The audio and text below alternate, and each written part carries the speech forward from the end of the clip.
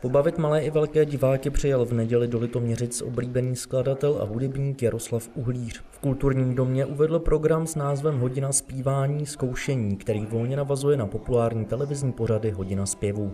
My to děláme pořád ale to je, to je pořád, který se jmenuje Hodina zpěvu a vždycky se vysílá kolem Vánoc. Tak teď jsme normálně vysílali, e, sice e, dřív to bylo tak, že jsme dělali 8 písniček do každé hodiny zpěvu, teď jsme dělali jenom, jenom 4 písničky, protože 4 byly nové a 4 byly archivní, ale pokračujeme dále hodně zpěvu. Během hodinového komponovaného programu určeného pro malé i velké uši zazněly známé skladatelovi písně z texty Zdeňka Svěráka.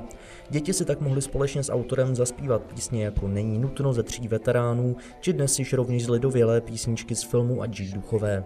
Většinou píšu na texty z 95%, vždycky Zdeněk Svědák napíše texty a já napíšu muziku, ale těch zbývajících 5% to jsou třeba písničky jako Kdy byla hudba napřed, tak to je třeba písnička jako Mravenčího kolebavka nebo Holubí dům, jo, takže taky děláme obráceně, ale rituály třeba, když říkáte, tak je to, že radši píšu na texty, než, než dělat muziku předem. Jaroslav Uhlíř nám také prozradil, že se na letošek chystá natáčení filmu Jana Svěráka o dětských operách z dílny oblíbené autorské dvojce Jaroslav Uhlíř Zdeněk Svěrák.